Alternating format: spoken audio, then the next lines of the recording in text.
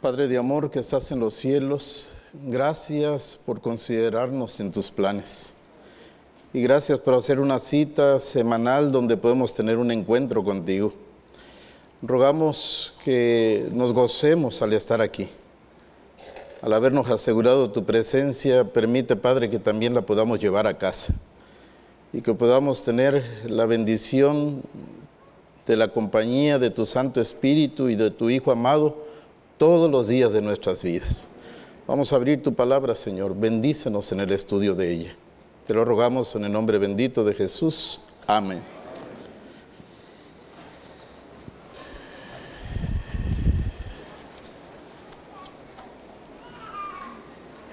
Abran sus Biblias, por favor, en el primer libro de Reyes. Primer libro de Reyes.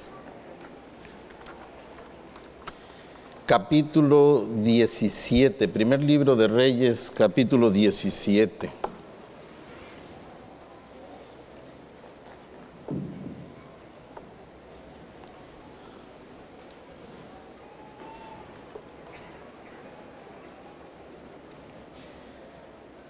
Dice el versículo 1, entonces Elías Tisbita de Galaad dijo a Vive el Señor Dios de Israel a quien sirvo, que no habrá lluvia ni rocío en estos años, sino por mi palabra. Agendas, agendas. ¿Cómo está tu agenda hoy? Me gustaría preguntarte. ¿A qué horas pusieron la alarma para despertarse hoy? ¿Qué piensan hacer esta tarde? Me llegó una noticia eh, de uno de los hospitales de aquí de la comunidad y nos están abriendo la puerta para visitarles y estar con ellos. ¿Cómo está tu agenda? Saben que andaba buscando algunas cosas y me encontré un documento de 1985 plan sugerente para completar los requisitos de la tarjeta del Club de Guías Mayores Ebenecer. Y seguí buscando porque era la agenda de un día de trabajo y me encontré algo bien interesante. División de señoritas, director de división Nilda de Recio para los que son de esta época, fueron nuestros consejeros cuando estábamos en el Club de Guías Mayores. Era la esposa del doctor Israel Recio que espera la pronta venida del Señor. Él murió. Y estaba buscando quiénes estaban aquí. Y me encontré algunos nombres interesantes. Lozano Rivera Jacqueline es parte de la unidad número 6 y Norma Garza es su consejera. Me encontré también a Ana Enamorado, sí, que era consejera, Becky Flores, Elizabeth Zul, Ruiz Lugo Miriam, mi hermana. Y me llamó la atención porque tenía que ver con agendas, agendas. Yo no sabía que en la agenda de este sábado iba a predicar aquí, pero le agradezco a Dios. Eh, el tiempo pasa muy rápido. Y tengo mucha emoción de estar esta mañana aquí con ustedes. Saben que mi esposa me dice, ella está en, en Miami, me dice, desde las nueve estoy conectada y no comienza el culto. Dice. Le digo, no, va a comenzar más tarde, le digo, así que sigue esperando y les manda muchos saludos, muchos cariños. Vamos a regresar a la palabra de Dios y vamos a dedicar estos minutos para buscar qué Dios tiene para nosotros. Yo no sé cuándo fue la última vez que tú pudiste hacer tu agenda sentado a un lado de Dios. Que te levantaste y cuando te levantaste le dijiste a Dios, podrías venir conmigo aquí, por favor, siéntate. Voy a hacer la agenda de hoy. y me encantaría que tú me la dictaras. Eso era lo que hacía Jesús todos los días, todos los días. Se levantaba y le preguntaba al Padre, ¿qué está en tu agenda? Porque la mía está en blanco. ¿Qué está en tu agenda? Es más, un día dijo Jesús, mi Padre trabaja desde el principio, siempre ha trabajado, siempre ha trabajado. Y yo estoy alineado a la agenda de mi Padre. Las cosas que yo hago no es que yo me levanté y se me ocurrió esta mañana esto, no. Estoy alineado a la agenda de mi Padre y hago lo que mi Padre quiere que haga. Porque Él tiene un programa y en el programa Él está trabajando y dice, hoy en el programa marca hacer esto. Yo en mi trabajo, dice Dios. Y entonces nos voltea a ver a nosotros y nos pregunta, ¿algunos de ustedes les gustaría ayudarme a participar en mi agenda. Pero yo no sé qué pasa. Hermana Noemí, hoy recibí su mensaje. Cinco y media de la mañana estaba checando. Muy temprano, sentada, buscando la agenda de Dios. Mira qué bonito. Dice el Padre, voy a estar allí pero quiero saber si estás disponible para que trabajemos juntos.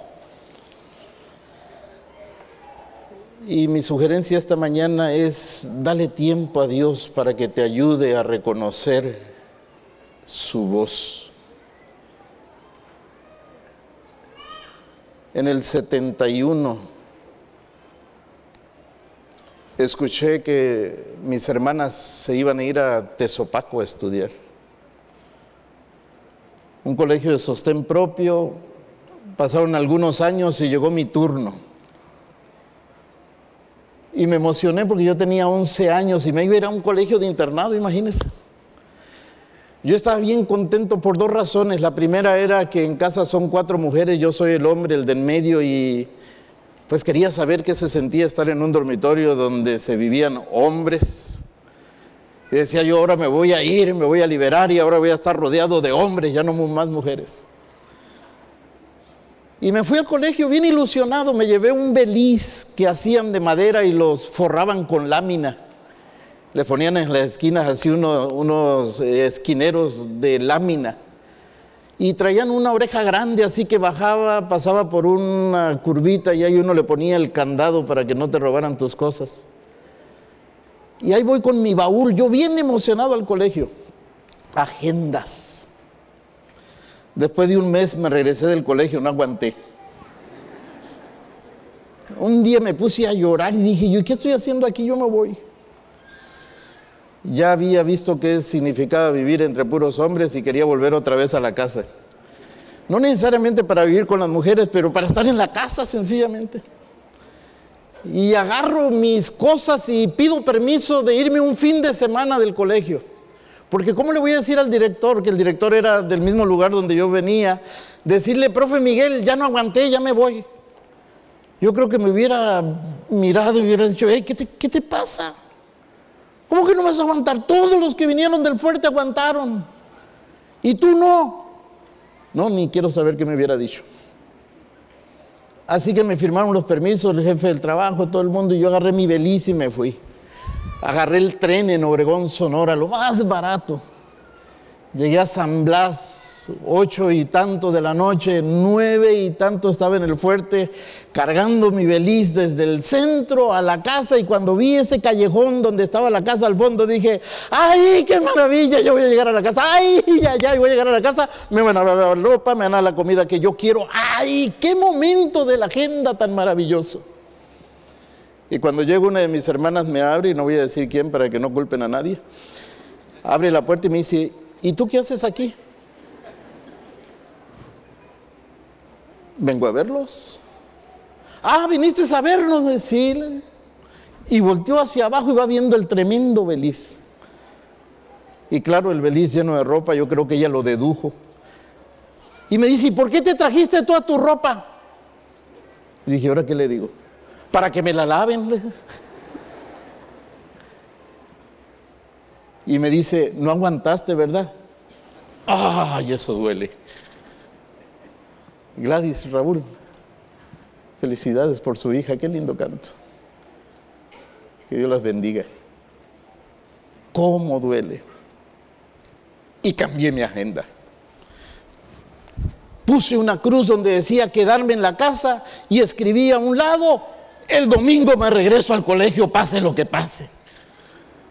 Es hora que no vuelvo a casa. Seis años en Tezopaco, cinco años aquí, me fui a trabajar y ahora regreso de visita a la casa. ¿Qué dice tu agenda? Una vida centrada en Dios se caracteriza por confianza en Dios, por dependencia de Dios y por una búsqueda de la actividad de Dios para tu vida. Elías lo llamaron así y le dijeron, Elías, aquí está tu agenda. Vas a ser pastor principal de la iglesia del reino, vas a ser el pastor del rey.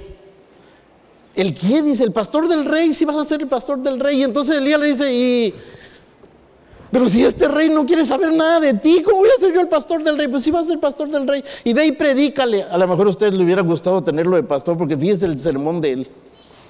Fíjese el sermón de él. Se lo voy a leer completo porque me va a sobrar tiempo.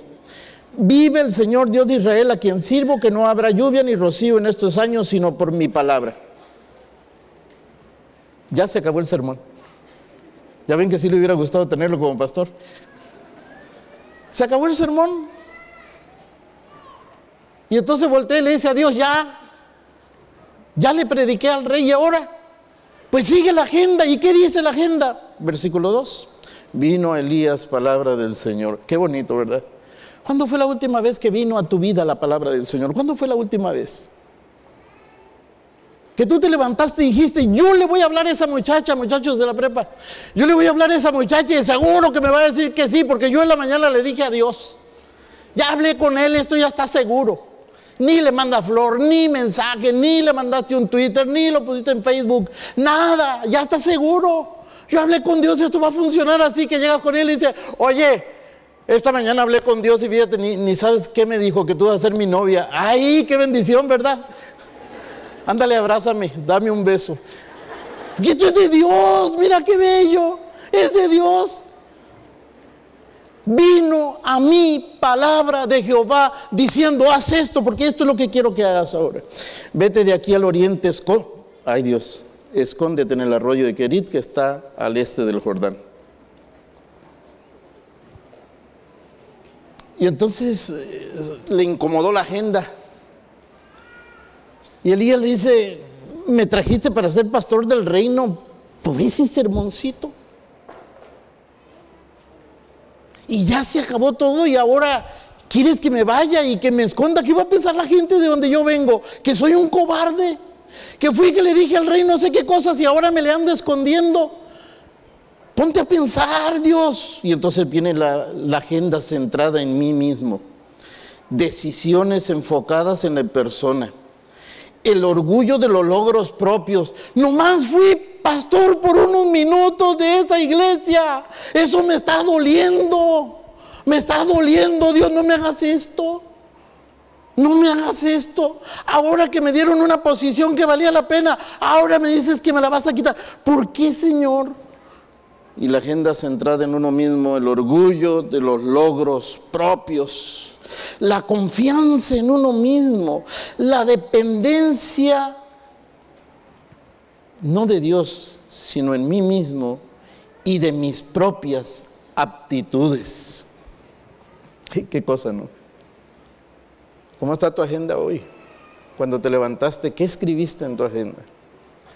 Gracias Dios porque casi salgo de la maestría. Señor, te agradezco porque el próximo año me verás aquí con un gorrito más chiquito ya de mi doctorado. Y te agradezco porque me tomas en cuenta y porque consideras mis aptitudes para servirte. Qué bueno. Sabes que cada vez estoy más feliz por ello. Bueno, me encanta lo que hizo Elías. El Señor le sigue dando algunas indicaciones, beberás del arroyo, y yo he mandado a los cuervos a que te den de comer.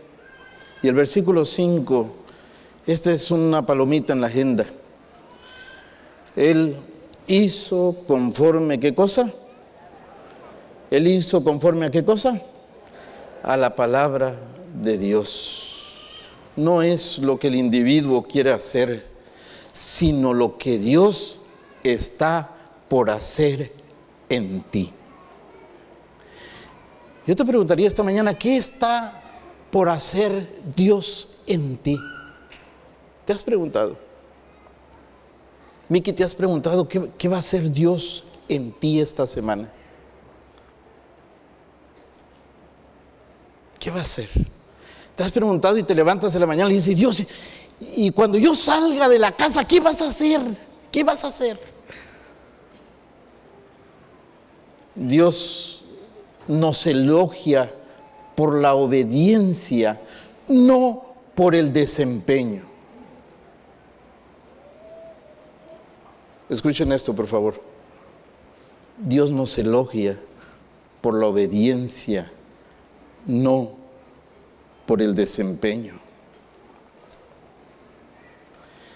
Y sigue diciendo el versículo 5, y él hizo conforme a la palabra del Señor, se fue y asentó junto al arroyo Quierit al este del Jordán. El versículo 6 nos descubre un detalle muy interesante, la agenda de los cuervos, la agenda de los cuervos. Hoy, esta mañana escuchamos un canto que aún la sabes, aún la sabes.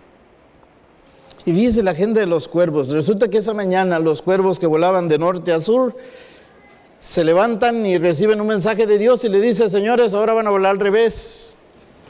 Les tengo una tarea para hacer y necesito que me la cumplan, por favor. Y entonces les puso en el GPS de ellos la dirección Google Maps para cuervos.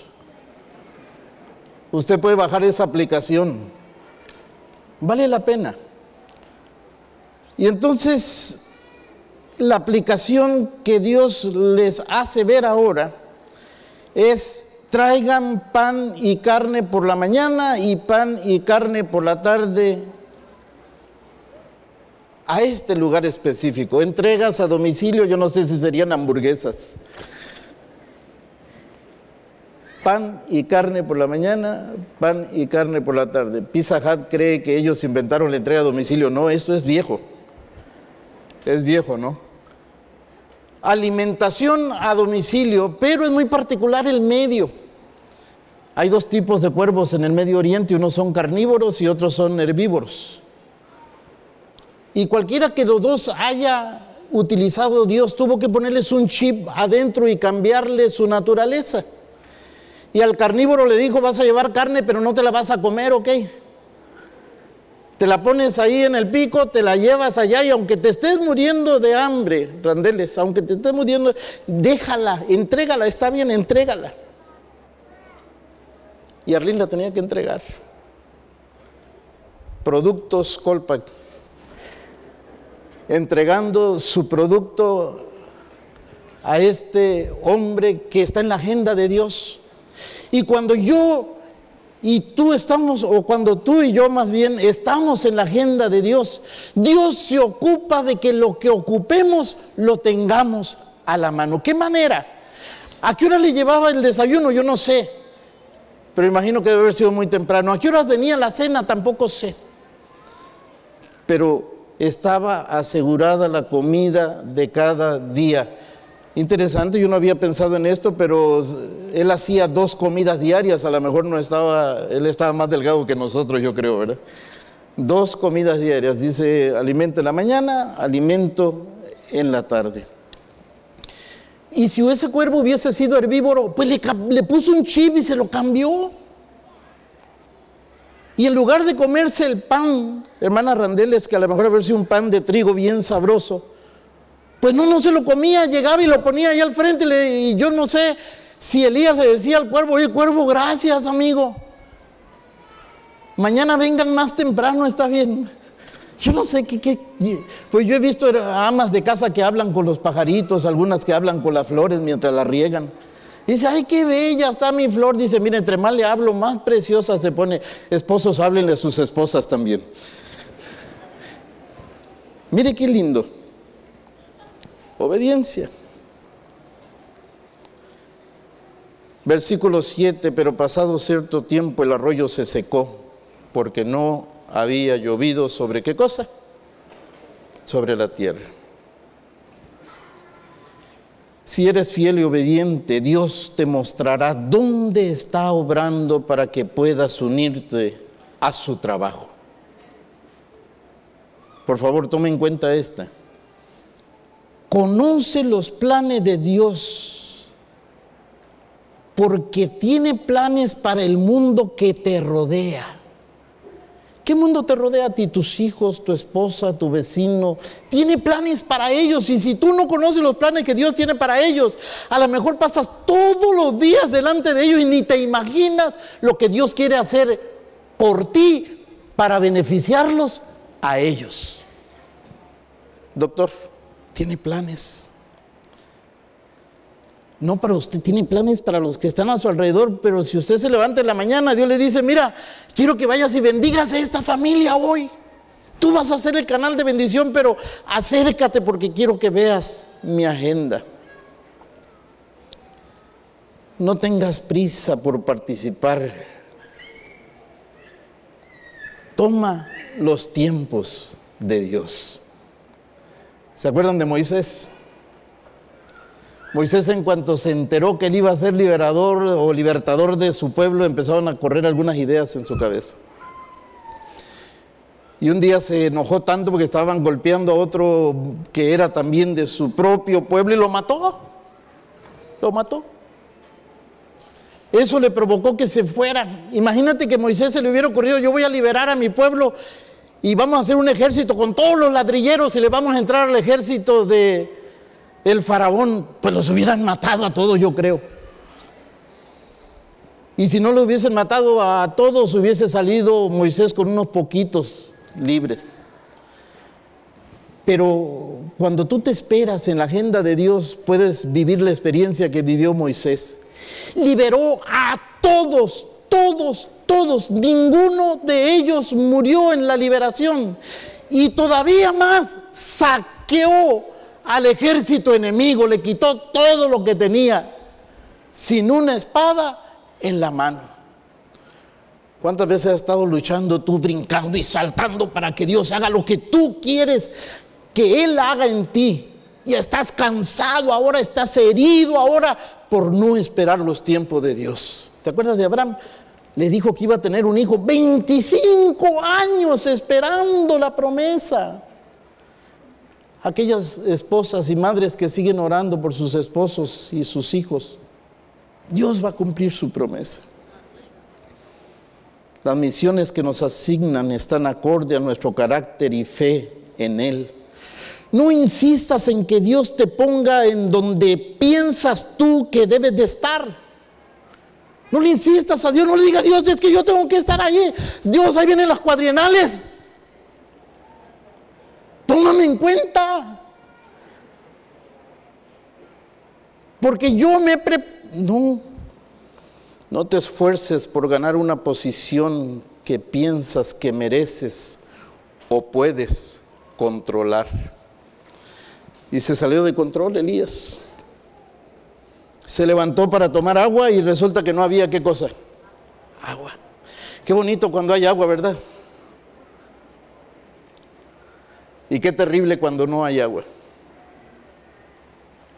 Tengo un huésped en casa y me dijo, pastor, se fue la luz. ¿Y ni qué cree? ¿Qué pasó? Le digo, se fue el agua también. Ah, le digo, eso es normal aquí. ¿Y por qué no me dijo? Dice. ¿qué te pasó? ¿Te quedaste enjabonado o algo? Dice, no, pero por lo menos saber, pastor. Qué terrible cuando no hay agua, ¿verdad? Se levantó y no tenía agua. Qué bonito cuando tú te puedes levantar, ves en el laguito tu rostro, te lavas y dices, ay, hay agua, puedo ver mi rostro. Pero qué terrible cuando te levantas y no puedes ver tu rostro. ¿Te has metido alguna vez la mano a la cartera y dices, ah, yo te pago, yo te pago, yo te pago, yo te pago? ¿Dónde es que lo meto? El billete de emergencia, lo saqué el otro día también. Cuando estás en la fila y llegas para pagar y entonces te dicen, Oiga, para hacer sus exámenes tiene que pagar 5 mil pesos que yo debo 5 mil pesos. Sí, seguro, sí. Es que no, si no paga no hace exámenes. Y le dice, Dios, ¿y el agua? Pues que no le dijiste al rey que no iba a llover. Pues si no llueve no va a haber agua. Y entonces Elías voltea a ver otra vez la agenda de Dios y le dice, ¿y ahora Señor qué? Bueno, versículo 8, vino palabra del Señor Elías, levántate, vete a Zarepte de Sidón y quédate allí. Yo he mandado allí a una viuda que te sustente. Ay, no, Señor. No, no, no, los cuervos estaba bien, pobrecito, los cuervos, está bien, me los mandaste y todo eso, cumplieron bien y todo. Ay, pero yo no voy a ir a la casa de una viuda a darle problemas. No, no quiero ir. No, pues si vas a ir, sabes, es el lugar que yo tengo, así que vete. Cuando llegó a la puerta de la ciudad, vio a una mujer juntando leña y cuando la vio dijo, de seguro que esta es la viuda. Escucha esto, Dios tiene más interés que tú en cumplir los propósitos de su reino. Lo voy a repetir. Dios tiene más interés que tú. Que veo ver mis alumnos. Dios tiene más interés que tú en cumplir sus propósitos. A veces pensamos que nosotros le estamos haciendo un favor a Dios. No, Dios es el interesado y le dice, mira, quiero que vayas para allá porque te quiero enseñar algo que nunca vas a olvidar. El tiempo que pases esperando instrucciones de Dios no debe ser improductivo. Y cuando obedezcas, Él te va a preparar para la misión más adecuada para ti. ¿Ustedes creen que Dios mandó solamente a Elías? Así nomás porque sí, vete con una viuda. No, ya había estado preparando a la viuda, ya la estaba preparando, había estado hablando con ella, le había estado diciendo algunas cosas. Y de pronto la viuda esa mañana escucha una voz que le dice, hey, te ruego que me traigas un poco de agua en un vaso para que beba. Qué manera, qué cortesía del muchacho. ¿Por qué? Porque agua en el Medio Oriente no se le niega a nadie. Usted pida agua en el Medio Oriente y se la van a dar. Bueno, no sé si ahora, a lo mejor se la venden. Pero en aquellos tiempos, en esa cultura, no se le negaba a nadie el agua. Y dijo, yo voy a pedir algo que no me nieguen. No vaya a ser que Dios se haya equivocado de viuda y yo le ande pidiendo a otra. O yo me haya equivocado de viuda y llegó esta más temprano que la otra que me va a ayudar. Así que para asegurar, si no cometer errores, y a veces somos nosotros así, ¿verdad? Eh, denme una tarea que yo sé hacer, una que no sé hacer, no me la den porque si no la sé hacer, tengo miedo al ridículo. Y Dios dice, espérate, si yo te estoy llamando, no es para que hagas el ridículo, pero si tú te adelantas, es probable que sí vas a hacer el ridículo. Ojo, muévete en la agenda de Dios. Le dice, me traes agua. Y la vida voltea por ese. Un forastero. Sí, sí, sí, está Al ir ella a traérsela, él se volvió a llamar y le dijo, oye, te ruego que me traigas también un bocado de pan en tu mano. ¿Un qué? dice la viuda. Un pan. Y la viuda se ríe, dice, mira, vive el Señor tu Dios que no tengo pan cocido, solamente tengo un puñado de harina en la tinaja y un poco de aceite en una vasija y ahora juntaba esta leña para prepararlo justamente para mí y mi hijo para comerlo y después morir. Ya estaba preparada ella en la agenda y en la agenda del día de hoy era, hoy comemos y qué cosa, y nos morimos.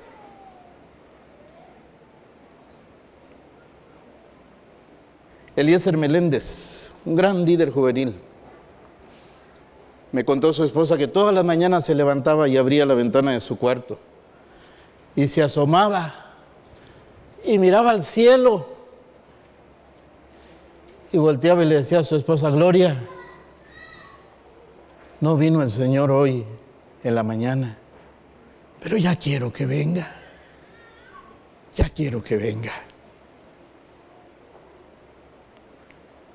La última vez que lo vi, lo vi en un féretro. Y dice su esposa, se preparó para morir. Algunos de nosotros ni siquiera queremos pensar en eso, pero se preparó para morir. Y esta mujer se preparó para morir. Y entonces Elías le dijo, no, no, no, no, no, mujer, no tengas miedo, sabes que hay un plan. No sé si te contó Dios, pero me lo contó a mí, ahí, eh, escúchalo, escúchalo. Haz como has dicho, pero hazme primero a mí un panecillo cocido. ¿Quién tiene tiempo para esto? Pues Elías. Cocido bajo la ceniza, no solamente calentado, lo quiero a la brasa, tostadito.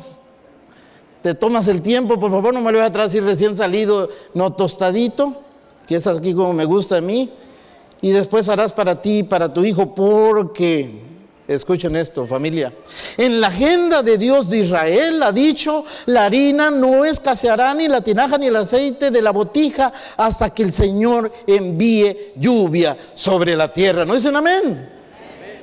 No te va a faltar nada, en otras palabras.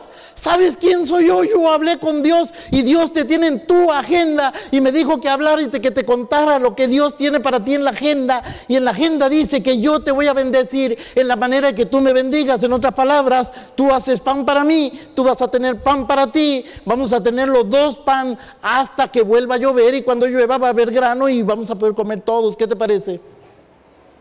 Ah, no me gusta tu agenda. ¿Por qué? Porque ¿cómo le voy a decir a mi hijo? ¿Sabes qué, hijo? ¿Te acuerdas que te dije que nos íbamos a dejar morir? Pero siempre no. Vamos a seguir aquí, ni modo. Porque ahí llegó un hombre de Dios y resulta que el hombre de Dios dice que no, que no tenemos, que Dios dice que no, que aunque nosotros ya nos queremos morir, Él dice que nosotros no nos vamos a morir. Y que tenemos que aguantar más la sequía y además vamos a tener un huésped en todo el tiempo que dure la sequía. ¿Te has levantado alguna vez diciendo, Dios, yo no quiero tu agenda? No quiero tu agenda, déjame en paz. No quiero tu agenda sencillamente. Kiriat. Esta mañana se va a bautizar y me decían, él quería, quiere y ha estado insistiendo porque se quiere bautizar. ¿Cómo está tu agenda? Platícame de tu agenda. Entonces ella fue, hizo como lo dijo Elías. ¿Qué hizo? La Biblia lo, hace muy sencillo y, y, me da miedo de lo sencillo que lo hace. Pero yo lo voy a complicar un poquitito nomás. ¿Saben qué hizo? Fíjate lo que hizo. Yo quiero que pongas a tus hijas cerca de ti. Preparas un pan en la casa. Y tu esposo llega y te dice, ¿estás preparando pan, mija? Ah, y sigues preparando y lo haces bien rico. Arepa sería. Y terminas tu arepa y entonces cuando está bien tostadita le metes queso en medio. Y tu esposo y tus hijas se te bien, dice, mamá, ¿vamos a comer arepas hoy? No, se la voy a llevar al pastor. Vino y me dijo que le preparara unas arepas con queso y que se las llevara. Pero mamá, ¿desde cuándo que no haces arepas? No. Pero es la última harina que tú habías traído. De... No. ¿Te puedes imaginar ese niño mirando a su mamá? Diciendo, mamá, y lo vas a hacer tostadito así, como a mí me gusta. Y lo, lo vamos a comer ahorita, mamá. Y cuando lo termine de cocinar, aquella madre de Israel que tiene fe en Dios, que no duda decirle a sus hijos que Dios cumple sus promesas, pero que no solamente se las dice, que las cree, que las vive, que puede morir por la convicción que Dios nunca nos va a dejar camina delante de su hijo y le dice, hijo, este pan no te lo vas a comer tú ahora, pero Dios ha prometido que tendremos mucho pan para los días que vienen enseguida. ¿Y por qué no me lo das ahora, mamá? Porque este no es para ti. El que voy a preparar para ti es más sabroso todavía. Mamá, ¿y por qué no lo preparaste juntos? Porque en la agenda de Dios dice que debo de preparar un pan, llevarlo al siervo de Dios y cuando regrese, habrá harina para que tú y yo comamos. Y al ratito van a pasar los diáconos. Y algunos de nosotros vamos a apretar el billete de la bolsa y decir, no te salgas, porque no tengo más, ¿cómo lo voy a dar de ofrenda? Pero ¿qué no dijo Dios que si se lo traías te iba a dar bendiciones hasta sobreabunde? Pues sí, pero termino la prepa, pastor, en una semana. ¿Cómo crees si Dios no cumple? Tres años de sacrificio y si Dios no cumple. Yo creo que aquel niño dice, ¿qué dijiste, mamá? Que se lo vas a dar a otro. Y lo ve salir y la mamá se apura y agarra el tarro de agua y va con su pan y se lo deja. Elías y le dice, aquí está tu pan y se regresa a la casa corriendo. Y cuando llega a la casa agarra la vasija y la voltea y dice, vasija, responde vasija. No.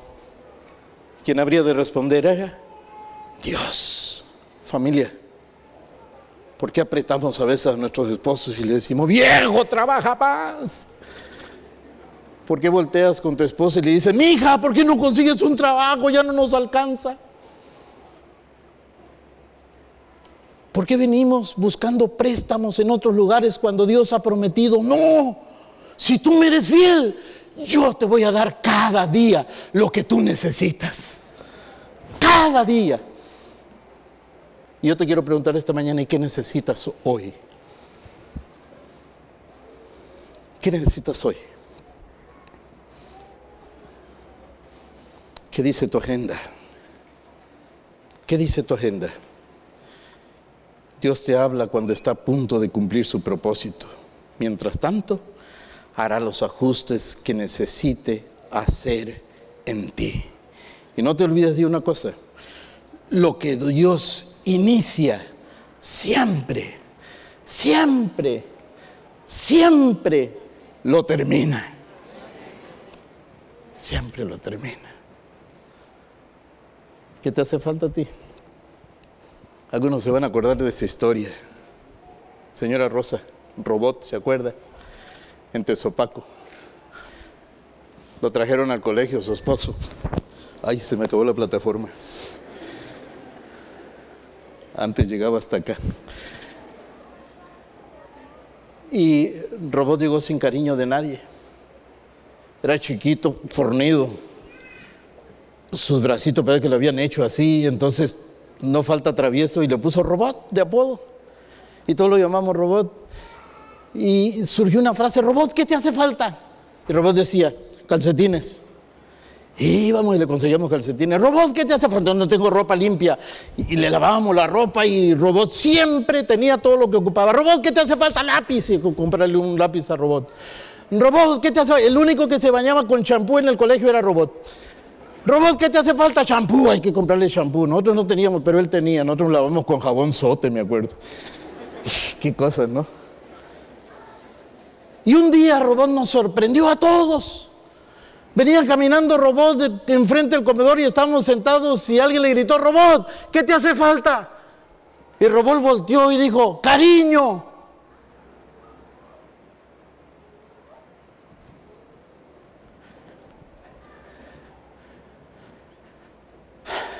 ¿Qué te hace falta? ¿Qué te hace falta? Están mal las cosas en la casa. ¿Qué te hace falta? ¿Qué te hace falta? Se bajó una muchacha, caminó hasta donde Robot estaba y se arrodilló. Y lo abrazó contra él, fuerte, fuerte. Y los bracitos de Robot al ratito empezaron a empujarla se dio la media vuelta y se fue. Él caminaba derechito, ahora era más grande. Me hacía falta cariño, pero me lo dieron. Familia, ¿qué dice tu agenda hoy? ¿Qué te hace falta? ¿No te gustaría pedírselo a Dios? No sé qué es, pero lo que sea.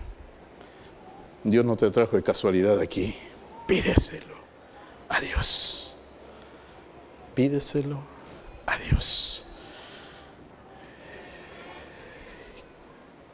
Kiriat. Ven, Kiriat, que queremos presenciar tu bautismo.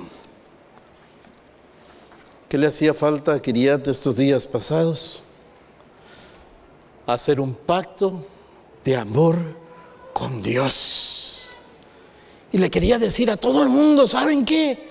Yo amo a Dios. Versículo 16, y la harina no se acabó de la tinaja, ni el aceite de la botija conforme a la palabra del Señor dicha para Elías. ¿Qué te hace falta? No sé, pero pídeselo a Dios.